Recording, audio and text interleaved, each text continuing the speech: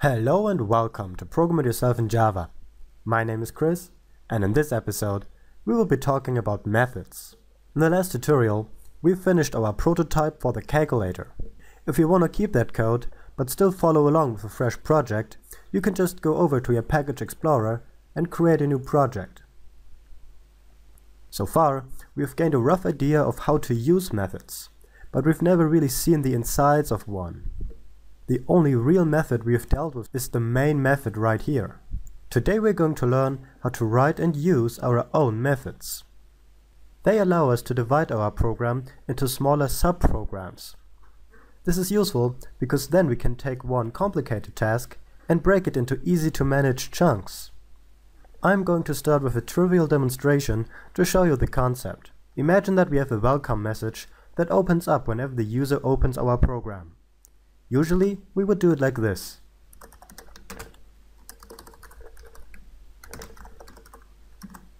And here is how we would place this task inside of a method.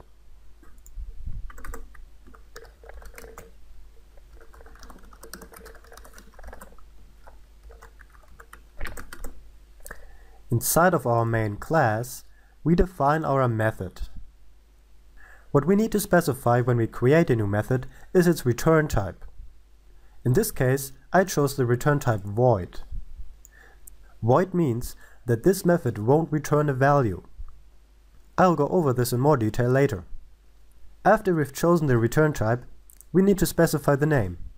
I called this method printWelcome, because that's a pretty accurate description of what it's gonna do. The name is then followed by these parentheses. These denote the so-called argument list of the method. We will leave it empty for now and deal with it later. And just like our main method, we have our curly braces to denote its scope. So now we can move this statement right here into our method. And accessing it is as simple as just calling the method's name. However, there's one more thing we need to do first. See how our main method is static? If we want to use our newly created method from within that main method, we have to make it static as well, otherwise we would get an error. I won't be telling you what the static keyword is about just yet. There will be a more appropriate time for that. Anyway, let's go ahead and call our method.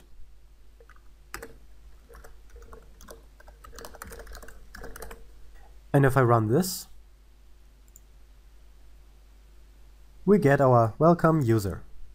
Now this was fairly simple, so let's try a more complicated example. Let's make a method that takes two numbers and adds them together, and then prints the result.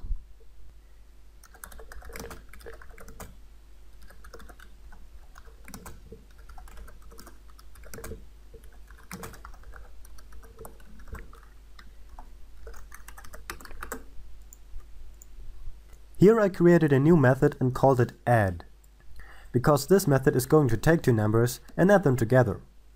Like before, its return type is void.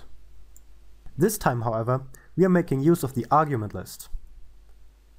Here I specified two external values that I want this method to use. The first argument is an integer called number1, and my second argument is an integer called number2. I separated these two arguments by using a comma.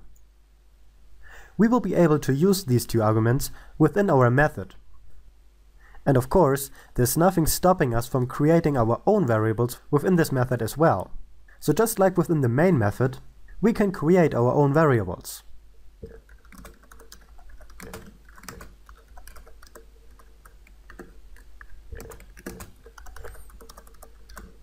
This concept is nothing new to you guys. I created a variable of the type integer and called it result. And into that variable, I stored the value of number 1 plus number 2. So now let's go ahead and print it out. Let's see this method in action. We go back to the main method and call the method that we just created. This time, however, we are getting an error. The method add integer integer in the type main is not applicable for the arguments nothing. This means that we didn't specify the correct arguments. Up here in the argument list of the method, we said that it takes in two integers. So whenever we call this method, we have to provide two integer values. So let's go with 5 and 7. And the error is gone. If we run this program now, we will get our 12. Because 5 plus 7 is indeed 12. Do you understand what's happening here? Let's try again with different numbers.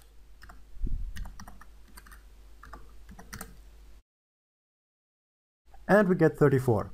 Whichever values we place in the argument list right here get transported in this list right here. So now in this case, number 1 equals 21 and number 2 equals 13. The order in which you put the values is very important. Of course, we could also use variables as our arguments.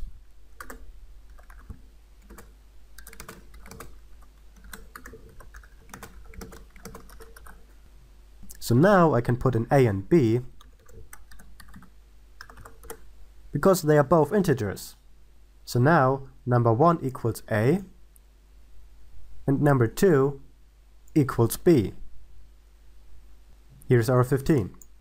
Let me go over this one more time, because I know for a lot of people this is a difficult concept to understand. When we define a method, we can use a parameter list filled with values that we want to use in the method.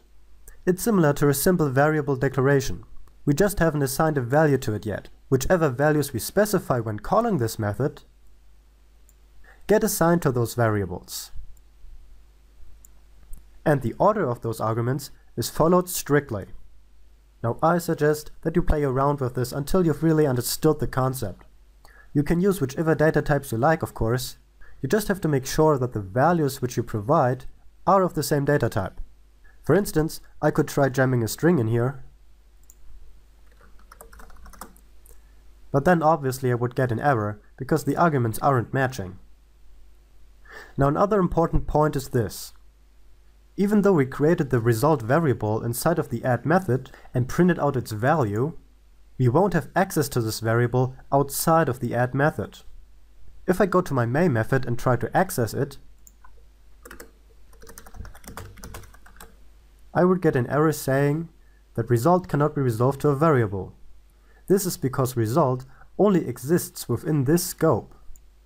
Once we are at the end of the add method, the variables number1, number2 and result get destroyed.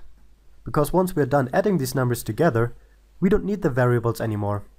So we can get rid of them and free up some memory. Anyway, this is all the time I have for this episode. I hope you found it useful.